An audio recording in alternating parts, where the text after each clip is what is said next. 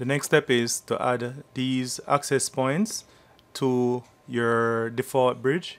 So you need to click on bridge and you're going to click the plus sign and then you're going to add the two APs to the bridge.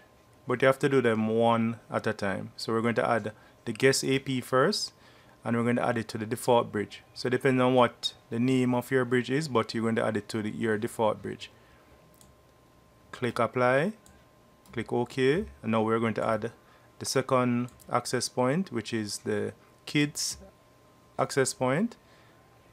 Click apply click OK.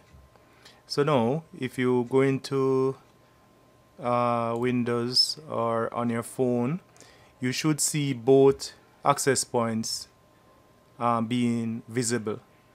So now you can actually connect to each one of them or any one of them using the credentials that you have provided previously. So that is how you go about configuring multiple SSIDs on your MikroTik router. Uh, the same the same can be done if you have one of the MikroTik access points.